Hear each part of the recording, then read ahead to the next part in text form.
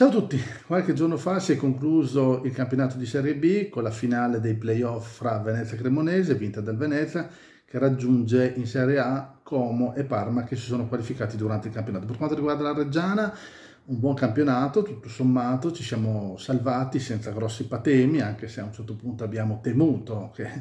le cose si potessero complicare, poi una serie di vittorie che ci ha tolto dall'impasse. Poi, a dire la verità, ci siamo salvati alla terzultima di campionato e con la vittoria contro il Modena, appunto, che ci ha permesso di essere tranquilli e matematicamente salvi, abbiamo visto in lontananza, però l'abbiamo visto i playoff.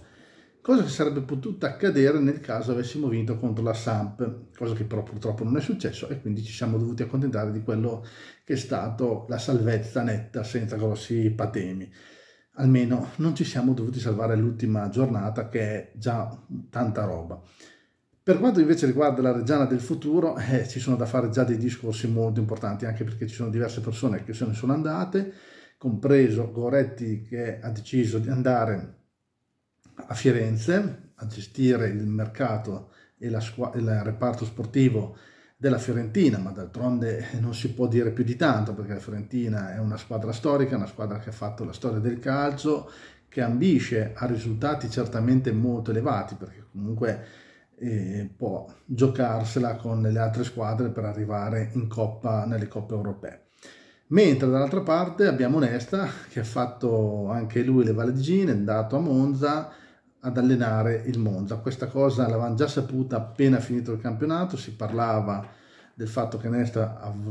era sotto l'occhio vigile del Monza che l'aveva insomma adocchiato per essere il prossimo allenatore del Monza, cosa che appunto è successa ed è stata confermata in questi ultimi giorni. D'altronde la Reggiana non ha nulla da dire, nel senso che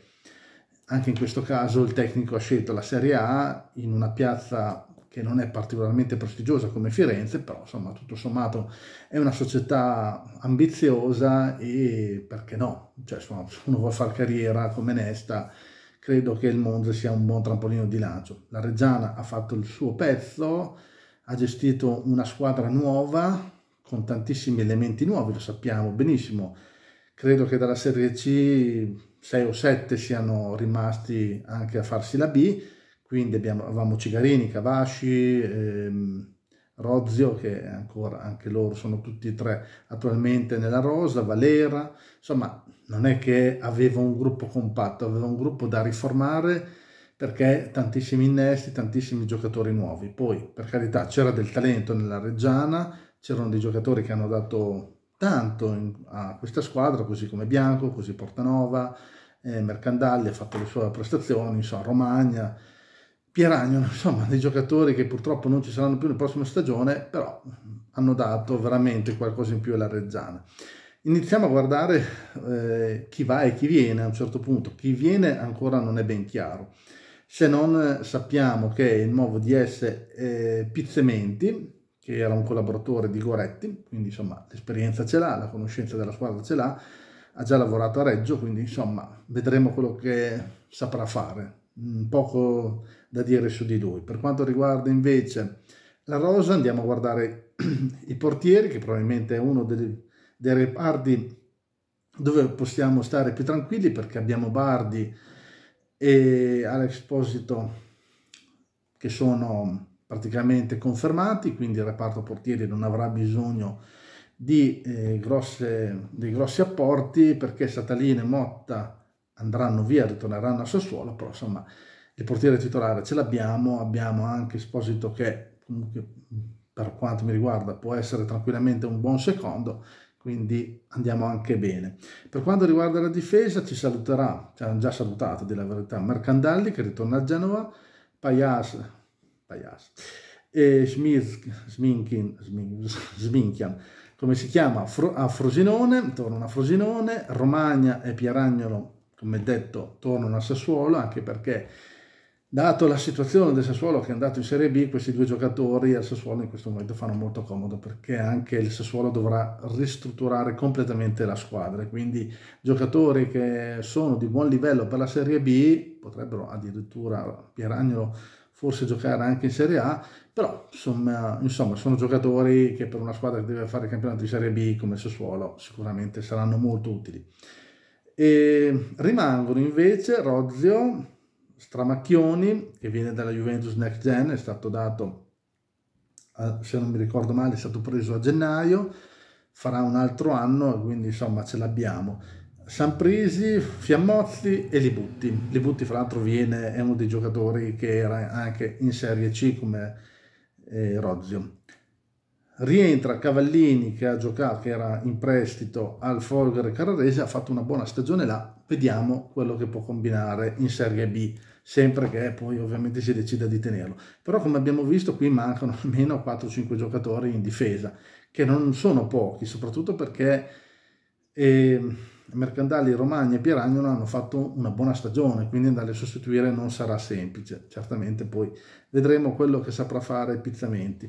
Per il centrocampo, in questo caso la situazione non è proprio rosea perché vanno via Melegoni e Portanova, ritornano a Genova, Crigno torna al Venezia, Bianco, ahimè, torna a Firenze perché comunque il ragazzo è giovanissimo, ha 19 anni, giocatore di prospettiva incredibile secondo me sarà un titolare nella nazionale nei prossimi anni, però purtroppo ce lo siamo goduti per poco. E rimangono sicuramente Cabashi, Cigarini, Vergara, che non ha mai giocato, però insomma speriamo di godercelo, anche perché è stato prolungato un anno il contratto con il Napoli, il prestito con il Napoli, e Reinhardt, che è stato preso a gennaio nel mercato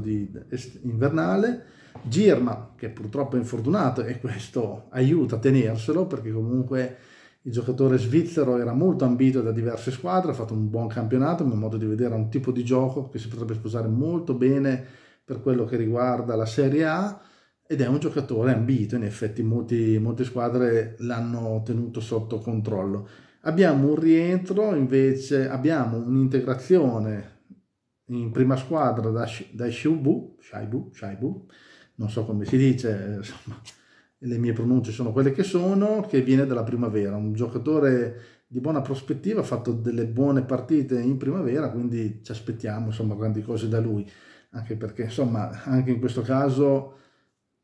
purtroppo il centrocampo andrà rivisto in maniera importante. Per quanto invece riguarda eh, l'attacco, che forse magari qui non c'è da lavorarci più di tanto, perché sicuramente andrà via Rist, Antiste, scusate, torna a Sassuolo, anche lui sicuramente sarà utilizzato dalla squadra nero-verde per fare il campionato di Serie B o comunque per cercare di acquistare un altro giocatore. Rimane comunque Gondo, che è stato il titolare quasi per tutta la stagione. Valera è in dubbio, è in dubbio che possa andare in una squadra di Serie C anche perché abbiamo visto che in Serie B è giusto giusto uno che possa subentrare, non ha certamente la qualità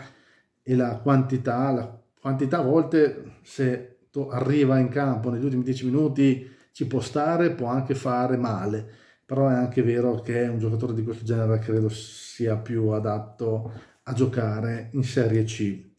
Poi abbiamo Alex Blanco per un altro anno, abbiamo Conoquo che il Bologna ce l'ha concesso per un altro anno,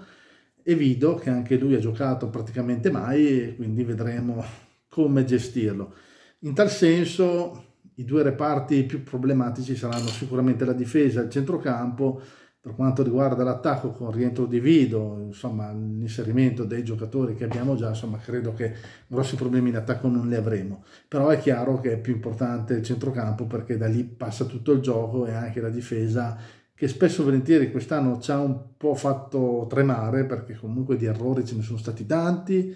abbiamo avuto tanti problemi, sulla difesa si può lavorare sicuramente meglio perché quest'anno non è stata impeccabile, abbiamo preso dei gol che potevamo assolutamente evitare, Mercandali per quanto abbia delle caratteristiche molto interessanti,